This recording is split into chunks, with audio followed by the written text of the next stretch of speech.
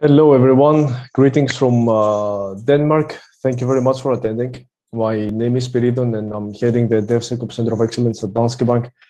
I'm here today to talk to you about site reliability engineering adoptions and give you some tips on what I consider are the fundamentals um, in, in your SRE journey.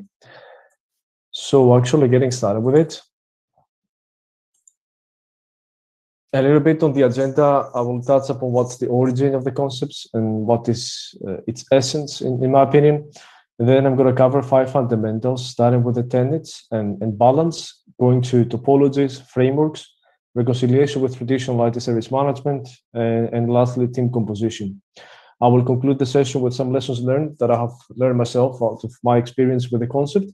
Um, make sure that I'm going to leave enough time uh, for your questions at the end. So getting directly into uh, into it, its origin uh, is backdated in 2003 and comes from Google. Um, the most mainstream definition is the one that comes from Ben Treynor, who is the VP of engineering at Google, and you could call it the father of, of SRE. And basically, he describes the concept as fundamentally what happens when you get a software engineer to design an operations function. So basically, from this definition, we can derive that the concept primarily has to do with operations, but it has to do also a lot with engineering and, and being embedded into the software development lifecycle. Uh, now, there are many different definitions of SRE, and people can shape it the, the way they want and, and define its essence. But in, in my opinion, it is prescriptive ways on measuring and achieving and uh, reliability through engineering and operations work. Um, and basically, if you take the acronym and you read it backwards, uh, you get engineering the reliability of the service. So basically, it's several actions, frameworks, patterns, ways, methods you use in order to make sure that you have reliable services.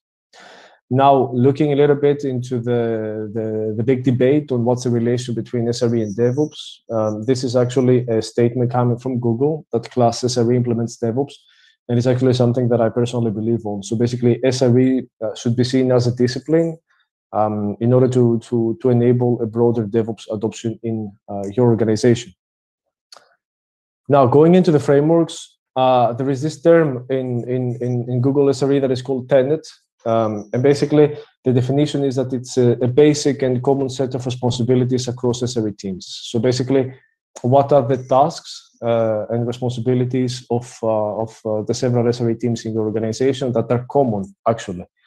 Um, and then the second um, term is actually what is called the SRE balance. So basically, the idea is that your site reliability engineering team is going to be spending 50% of their time uh, doing operations work, while the rest of 50% will go on improvements. Here on this uh, diagram, I have made an attempt to define or list the tenets the way that I have use them in, in my experience. I know they're a little bit different uh, to what you're going to find in the Google publications, but this actually is the essence of the concept that you you make what you want out of it and, and you define the way you wish. So basically, when we talk about operations, uh, an SRE team typically will be doing emergency response, uh, which is actually a response into what we call in the industry level one. So incidents in the application or the infrastructure that is being uh, uh supported and the first level reaction. And ideally, this first level reaction is actually um, the level one, while there is a level zero before that, that comes out of the improvements part, which level zero, it's your infrastructure and application try to self-heal itself and, and, come into life. If it doesn't succeed on that, then you get into the level one, which is your SREs taking action. There are a lot of stuff around observability, and basically that goes on monitoring and logging um, in your application and infrastructure stack. Postmortems, in case that you do have incidents that you need to do some root cause analysis and, and appoint preventives in, in order to ensure that they won't happen again, release management and deployment uh, work, as well as service continuity to make sure that in case you have a disastrous event, you don't lose your service and you continue having operations. Now, on smoothing these operations and shift towards what I call operations engineering, there's the latter 50% of improvements that the necessary team will work on. And that is primarily on eliminating toil, and toil in Google terms means manual, repetitive, and automatable tasks. So basically, make sure that you can have as autonomous operations and hands-off as possible. Several actions in order to improve the reliability uh, of a service. Actions on measuring and reducing technical debt. So basically, you make sure that your uh, error budget, for instance, stay where it should be, and that happens in a proactive way. Uh, work around proactive capacity management. So looking into your historical data or looking into the intended growth and, and, and predict what the, the how your application should scale and, and, and take preventive actions. And then a lot of stuff around release engineering. And basically this is looking into, let's put it so simplified, release management process front to back and the engineering steps of it that you have uh, implemented in your CI/CD pipeline, your IT service management tool, your infrastructure platforms, and basically make sure that you can balance uh, release velocity with reliability. So you can go as fast as you want, but make sure that you don't damage reliability. There is another definition of SRE from Google that it says is what happens when you have a car running with 120 kilometers per hour and you change the tires on the fly. That gives you a good essence of what release engineering means in, in, in, in SRE terms. And then there is a lot of transformation initiatives that the necessary team can spend their time on as part of the improvements. And one example that I've typically seen is, is working on transforming your application uh, into cloud native. Um, now, in the long run, this percentage, of course, is not prescriptive. What Google wants to, to say and the concept wants to say is that you should not be spending more than 50% on operations. And it, it depends a lot with where is your life cycle of your service at the current moment. Is it still early deployments, you're in canary releases phase, or do you have a mature product that is in production? Eventually, in the long run, and that's just the indication that I've seen from my own experience, you would like to minimize operations into 20%, and then 80% will go in improvements, and ideally into transformation initiatives. Now, why this is a very important framework uh, and fundamental of SRE is defining the balance and defining the tenets is actually very important because in essence, you explain what you want to make out of it. So basically, what will be the responsibility of the SRE teams and what is going to be its operating model? It's actually derived by the objectives you want to achieve with uh, implementing the concept. Now, a second fundamental and very important is topologies. And there are several combinations on how you can organize your SRE teams. I've, I've brought only two here, but you can sense and probably have experienced way more than that. Um, and one very important thing is that you need to reconcile this topology with your broader DevOps operating model ecosystem. So you need to embed it into the current DevOps model you have, or if you are in the phase of evolving it, you need to evolve the SRE topology together with it. So basically, the first one, I call it embedded slash organic, and this is full ownership. I've brought an example here from uh, the financial service industry, where I'm coming from, and the FRTB, which is a regulatory uh, legislation from financial services on the trading domain. And basically, in order to implement that regulatory framework, you need to have certain products come into play where they have dependencies. Um, um, and actually, you need to orchestrate everything around them. So basically, one idea is that you take ecosystems like the FRTB in this case, and then embed tactically your SRE people into the different applications where they have dependencies and actually help them to harmonize uh, to the best possible extent how this ecosystem operates from a site reliability engineering perspective. This is important because it can give you a higher return of investment. The more the scale, the bigger the return of the investment. It can help you to harmonize and orchestrate within your ecosystem, but also it can make sure that you can have a lot of good mechanisms of error handling. So basically, uh, it is the, the, the, the one rotten apple in the bucket of apples uh, scenario that if you have one rotten apple, it's just matter of, of, of time for the rest to get rotten. And the same goes on the reliability concept. If you just focus on reliability of a single application and you don't look into the peripherals, it's just a matter of time that they're going to break you. So basically looking into ecosystems, tactically placing the people and get them to harmonize as much as possible across tenets and, and, and, uh, and the methodology of, of doing things. Um, and then it's very important that where you have your core infrastructure, that you have the most technological utilities consumed and the biggest volume of clients. You also do tactically embed site reliability engineering. And two examples that I can bring here that I've seen in my experience paying a lot of is, for instance, your container platform or your CI/CD pipeline or your enterprise message bus. So basically making sure that your core foundation is also aligned with the reliability practices of the application layer. Now, a second model, it is what I call task force. And basically this is come, stabilize, transfer knowledge, and move on. Um, and this is on applications that don't really have a big dependency. They have an indirect one, but not direct one. And for the ones in the FSI industry, you can see core payments and equity trading. They do have a dependency, but it's not a direct connection.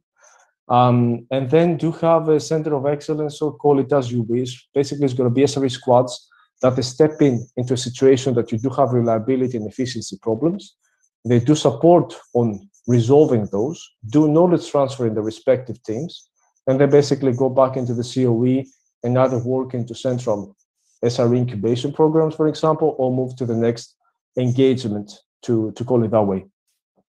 Now, it is very important actually that you have, uh, as, as I mentioned, these topologies uh, aligned with your overall DevOps operating model, and you're becoming very creative based on your objectives on, on what you want to achieve. A fundamental number three is frameworks. And if you remember from the essence definition I gave, I talked about prescriptive. Prescriptive in, in, in these terms means legally established and accepted. And basically, you need to be consistent across your SRE ecosystem on the way you do things. There are several frameworks that are going to be very important for you in, in your journey. I've brought only four of them here. The one is observability. So basically, it can help you with visibility of your health status, get alerted um, uh, well in advance, become very proactive, use the data to do chaos engineering and stress test your system in close to real circumstances, but also collect data to do capacity planning. Then a second very important framework is to achieve autonomous IT service management. And basically, this is getting the technologies that consist of your IT service management hooked up and interoperated with your release engineering and actually make it as event driven and autonomous as possible. So basically, people just it's this is this term I'm using. People just drinking coffee and looking to screens, while the tools using APIs and events take care of the whole world. For instance, a great example here is reconciling your whole release management, deployment management, incident problem change management, service management, service level management mechanisms um, together.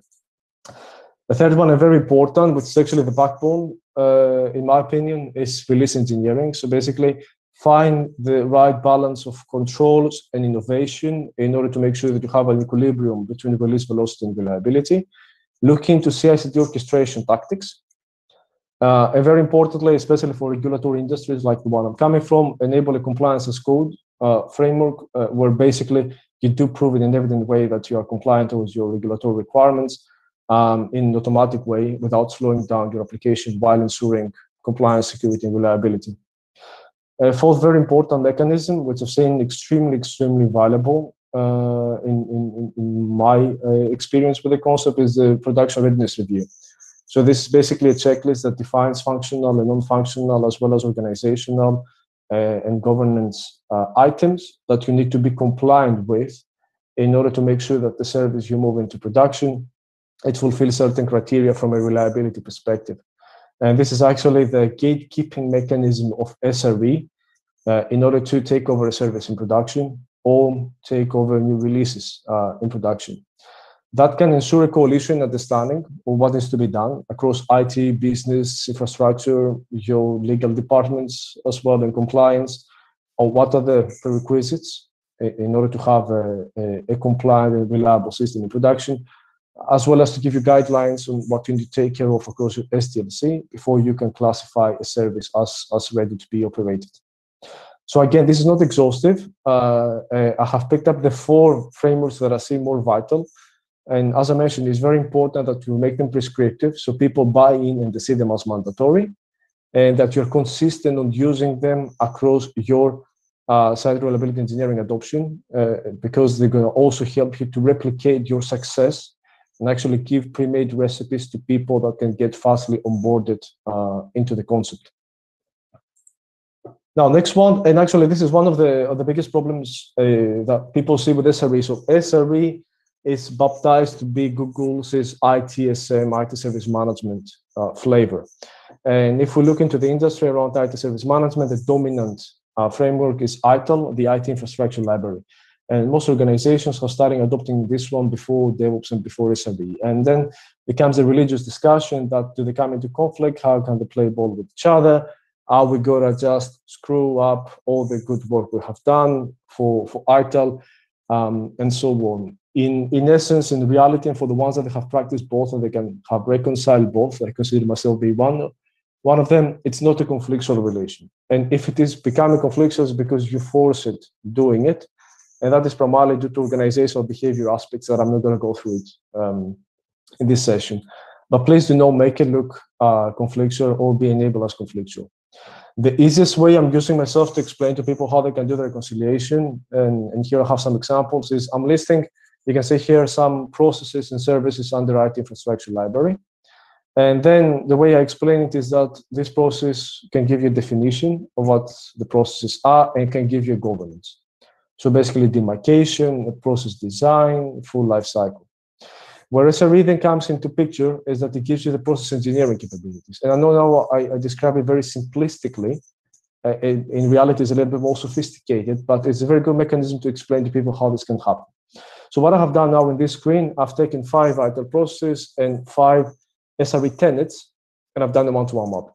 So basically, your problem management in ITIL is exactly the same with the postmortems in the SRE world, with a little bit more changes on the engineering mechanism around it and the culture.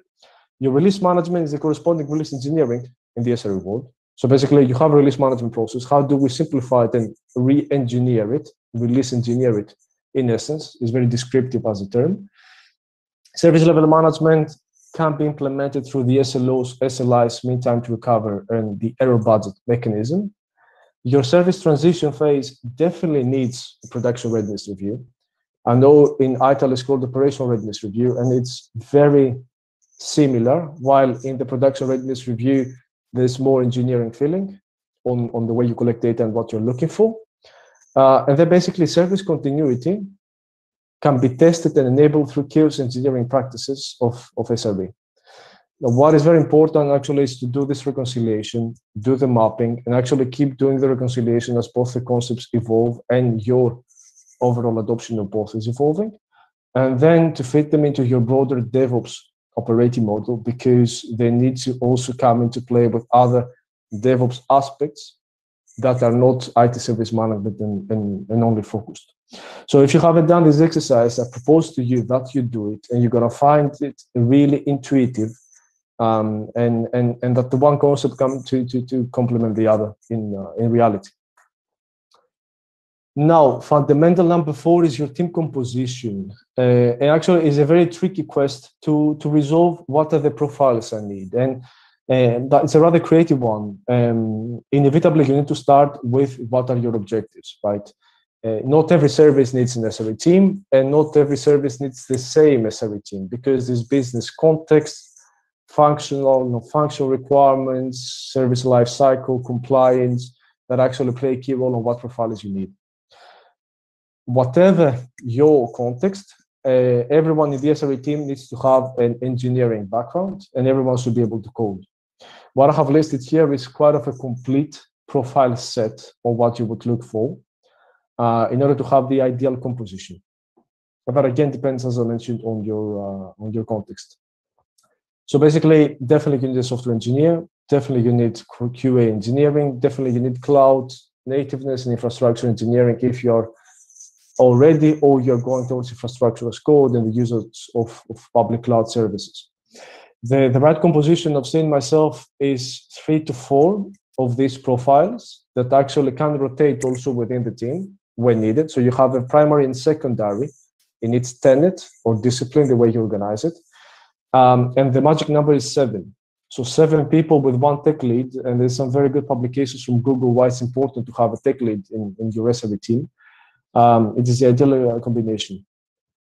Now, it's obvious we talk about eight profiles, and then basically capability and skill set mapping will be very handy in order to rank profiles horizontally on how much in broadness they need to understand, but also vertically on how much in depth they should be going in certain concepts.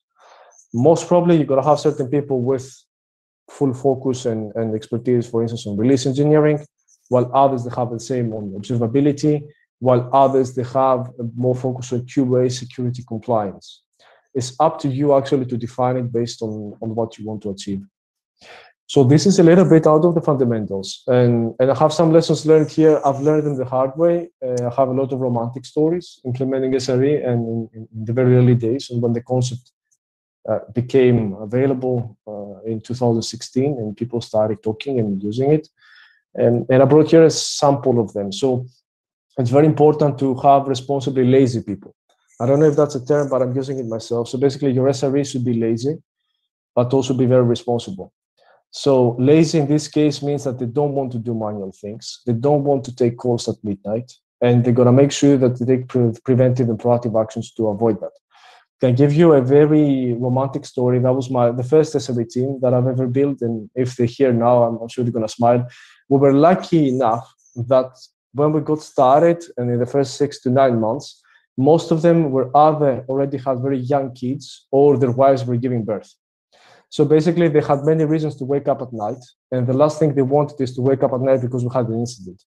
So basically, they've done a great work in order to build very reliable systems from the ground with reliability built in by design to make sure that they won't be called at night. And this is a true story, actually. It's luck by coincidence. Now, don't sell it only as automation. Uh, I've seen that in many places. Uh, for some for some reason, people have difficulty to explain what site reliability engineering is.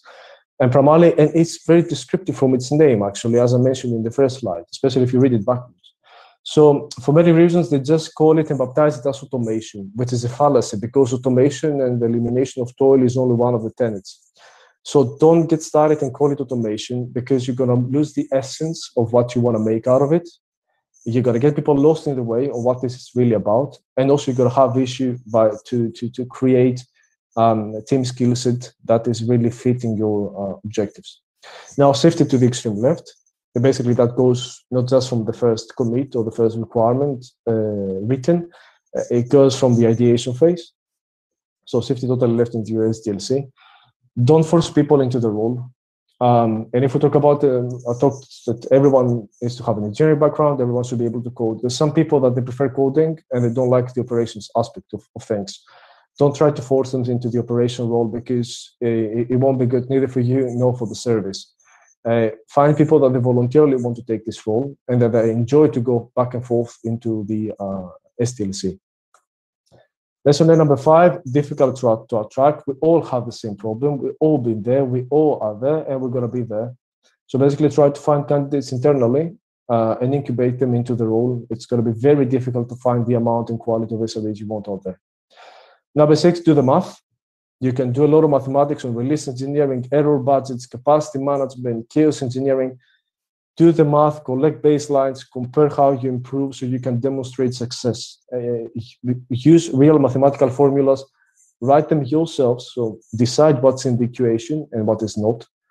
Um, now, something that is very relevant to the financial service industry where I'm coming from, make sure that your segregation of duty policies is SRE friendly.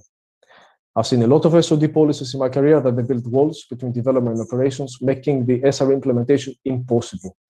So make sure that your segregation of duty policy is SRE friendly.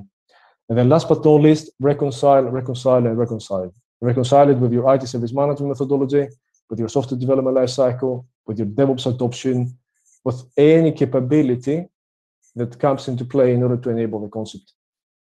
So actually, this is what I had. I would like to thank you for attending. Reach out on LinkedIn uh, if you want to discuss further and exchange experiences. And I have listed down there um, a very, very nice lineup of publications that I found very inspirational myself, and I do recommend you uh, to read. Thank you very much for attending, and, and hopefully talk to you on LinkedIn. Goodbye.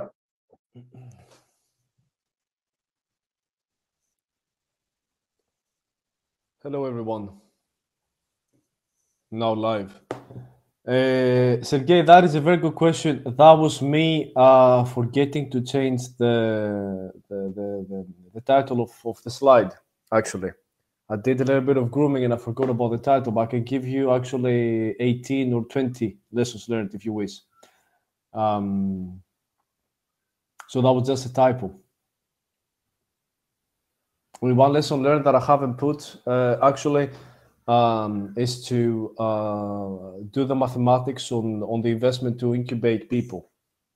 Um, in certain cases, it's going to be a lot of investment for internal trainings, outside training, certifications, and when pe- when organizations discover what the cost about it is, they withdraw a little bit. Another lesson learned is that bring your business partners with you, product owners, business directors, get them to understand what the value proposition is. So there's many more than the ones outlined some context of the shift left testing aspect. Yeah, very much correct. So basically, uh, it's happily enough we had a similar session at work today. So we're creating new DevOps playbook model. Um, so actually, shifting testing aspect left is start with the designing your application. So basically, the patterns and standards and guidelines that you use to design your application should take both functional and non-functional requirements into account. And there's functional testing like unit testing, regression testing, UAT, and then you have the whole non-functional performance, uh, reliability, and, and so on. So basically, when designing your application and outlining your requirements, it's very important from the very early days to, to take these aspects into account and look how you can, for instance, use your CI/CD pipeline to achieve that, what your test plans will be, what test environments you need, what test data you need, uh, look into potentially mocking interfaces for integration test and, and so on. Um, and then basically, it is uh, it is a fine balance between having the capabilities you need on demand. So have a test automation framework, for instance, that is fully hooked up to your CI/CD pipeline, and then basically that can be used to trigger any any level of test then take that test automation framework and, and actually have it, the more you shift to the right, the slimmer it becomes because you start with something very heavy on your CI, and then you can use subset in order to, as, as, as you go to your CD side, um, which you can also use for chaos engineering practices. So one of the practices to use regression test cases or performance load test cases for chaos engineering also, you can use some of these test cases for disaster recovery, which is an exercise that you're gonna, In most of the cases, if you don't have a pre-production environment, which is a replica of production, it's going to happen in your production environment. So basically, summarizing it without becoming very lengthy, it's very important that once you build it in by, by design, and if your application is already there and you don't build it at the moment, it's good to collect data from production because production tells you the truth and then through the whole problem management and everything, enrich your quality assurance capabilities shifting left. Uh, correct. How would the service come into play if they are more on the post-mortem? No, they are not actually. And this is one of the messages that I want to pass. So, in, in my humble opinion, of course, and you can adopt SRE and, and, and DevOps in, in, in, different flavors, right? Uh, the SREs are not entering the game in production the SREs are entering the game from the continuous design and development, I call it. So they do have the same backlog with the developers. Maybe it's the same person, actually, the developer and the SRE. Uh, they do have a saying on the prioritization. They do uh, meet the product owner when the backlog grooming and prioritization takes place. Um, so basically, it's not that they're going to get involved only when something goes wrong in, in production this is a little bit of I don't know how to call it. I use some weird terms to describe things to people, but is a little bit of uh, engineering traditional operations. While SRE actually is really getting the people together with the process shifting left in the SDLC. Um, and then you can have if it's a different people and it's not the same ones. So if you have developers and SRE, in I've seen both a developer being SRE at the same time in the rotational mode, but also have seen five developers and one SRE taking care of the service the five developers um, deliver. So your whole topology, as I talked about the fundamental number two, how you organize is super important. That will also give you a taste on how much left your, your SRE team is, is shifting.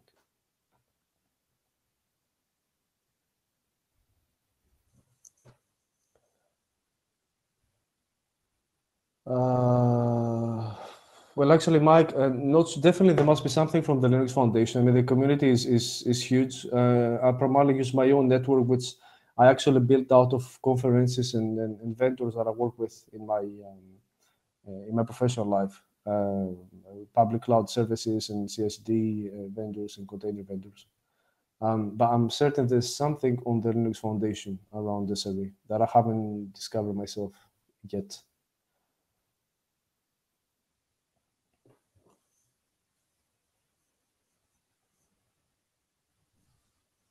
More questions. You can you can go as broad as you want and and, and go way far from the material i presented.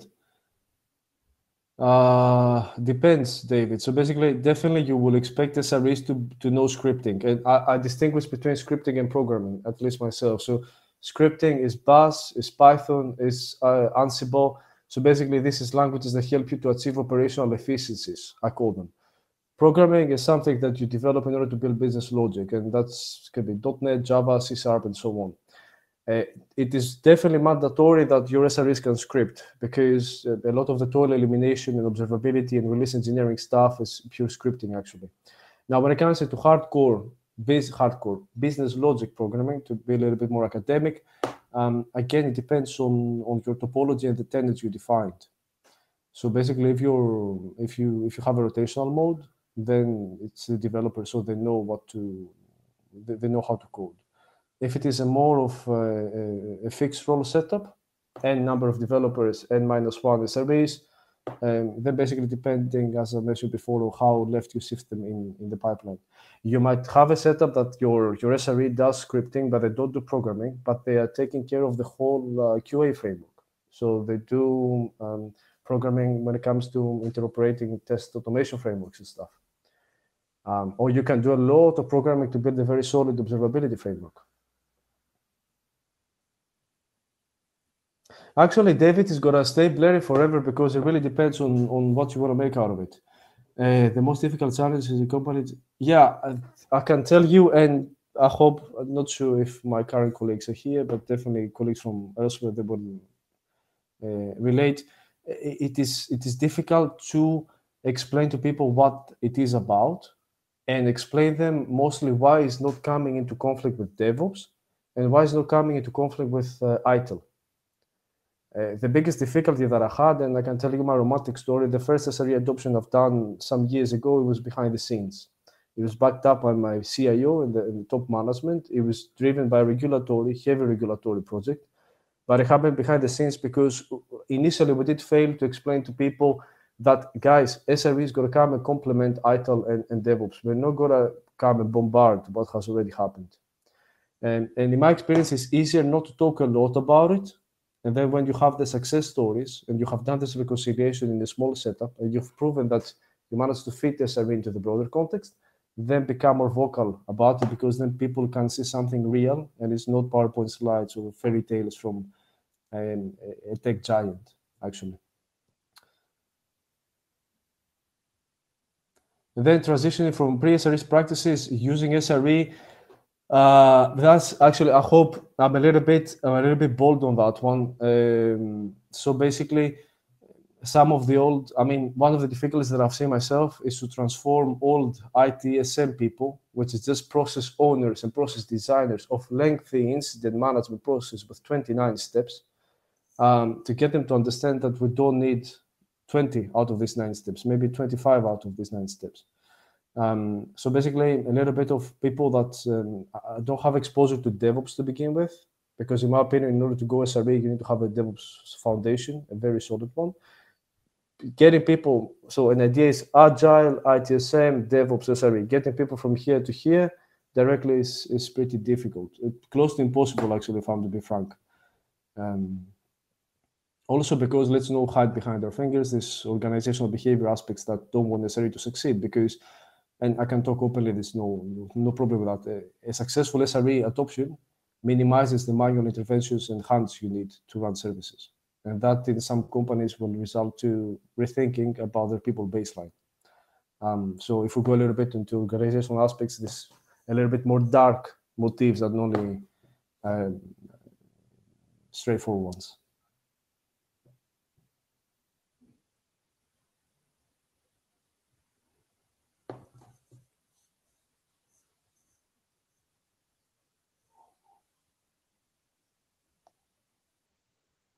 You're welcome. Thank you very much for asking. What advice will you give when having postmortem? Because sometimes I can. Correct. So basically, uh, um, I call it. Uh, I use the term solidarity uh, myself, and it comes from the old days when I started implementing DevOps, and basically I was trying to to to get closer with my partners uh, on on the development side and operations basically, I was talking about DevOps solidarity. Uh, and, and basically, you need to embed to people that we need to show solidarity. And it's all about using the right wording, in my opinion. So definitely, definitely, if one area has done something wrong, it is you, you, you will have to blame them, right? Uh, but use the right wording and the right attitude. So don't point a finger. Don't say you. Say our partners in infrastructure, not the infrastructure guys. So basically, when we look into what went wrong, definitely you gotta it has a, an essence of blame in it. But it's all about the culture, how close you work with these teams, uh, and the wording and, and, and attitude that you gotta use. And essentially, to make a SRE happen uh, as any other concept that is a little bit radical, you need to make friends in the organization. So it also depends on the level of friendship you have across areas, um, which is on the soft side of things. So it needs a little bit of emotional intelligence, actually, um, as, as any other concept that's a little bit radical to the mainstream ways of, of companies running.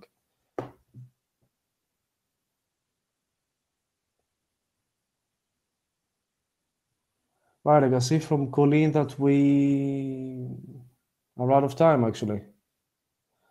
Um, thank you very much for attending. Thank you for your questions. Uh, I'll be more than happy to connect on LinkedIn and, and have a virtual coffee and discuss more on the concept. Have a good afternoon, night, day, wherever you are. Thank you very much.